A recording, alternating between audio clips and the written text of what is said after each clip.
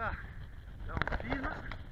Et ben Zeus 2000, le premier lancé, pente l'orac des juillet, ça se voit pas mais on est en juillet 2017. T'es prêt?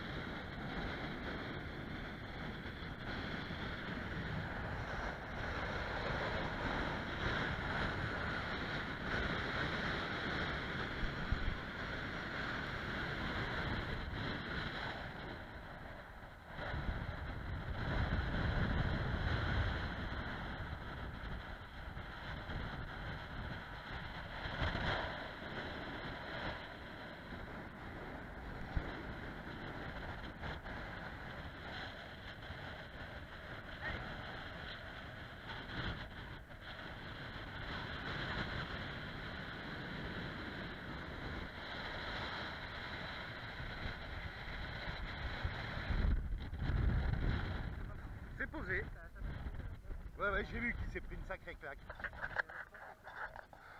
Eh ben merci de ce pilotage. Euh, Votre commentaire à chaud de The Zombie, ça vaut quoi? Bah, c'est pas mal du tout, hein